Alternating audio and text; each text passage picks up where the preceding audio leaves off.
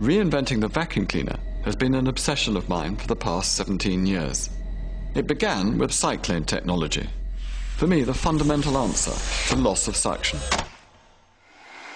Next, we eliminated bags.